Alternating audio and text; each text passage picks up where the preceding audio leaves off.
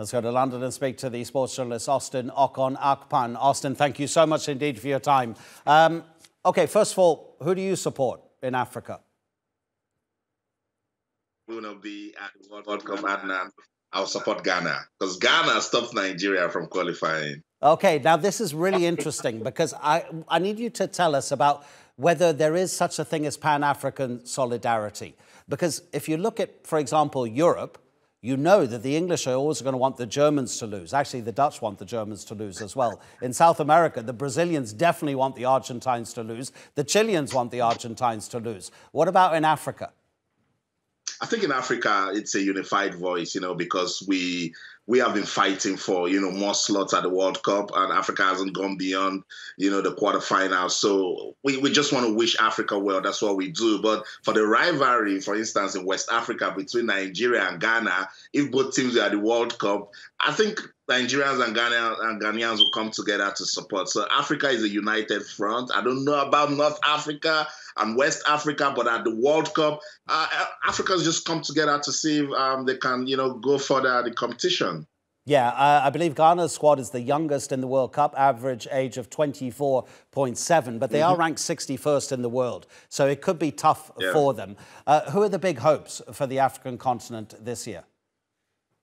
I think it's okay if we put our hopes on Ghana. They're ranked 61st in the world, but this is the World Cup. We just saw a team, Saudi Arabia, ranked 51st in the world beating number three ranked Argentina at the World Cup, arguably the biggest upset that I've seen at the FIFA World Cup. So Ghana can believe Coach Addo has done a good job in putting together a team that struggled from the AFCON in Cameroon. I think beating Nigeria was good motivation for them to get into the World Cup. And so putting together this team that most of them have vast good experience in, in European football. So Ghana can do something. I also see Morocco as an underdog that can you know, go all the way because they have invested so much in their football, not just for the men, also for the women. And they can just use that as motivation to do something at this World Cup.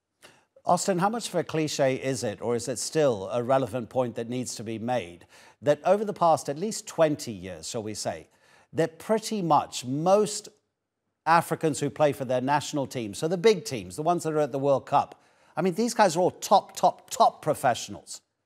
Are they being held back by their administrators? Is corruption still an issue in the administration of African football? Sure, that's what it is. You know, and infrastructure is a big, big, you know, factor when you're preparing for a big World Cup and, you know, to go out there and do the best. So corruption, uh, poor administration, you know, inept leadership, people who don't really understand football were just there for the money. I'm sure you've seen the documentary FIFA Uncovered.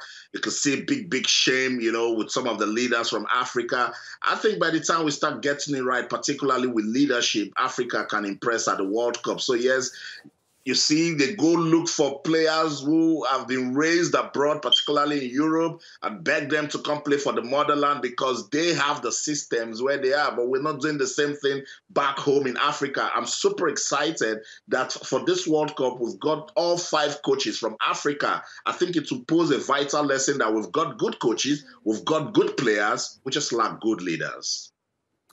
Austin, thank you so much indeed. I tell you what, we're going to have to have you back on as the World Cup progresses because if there are shocks like the one you've just described about Argentina losing to Saudi Arabia and an African team pulls one of those off, we need you back. Right. Austin, thank you so much indeed for your time.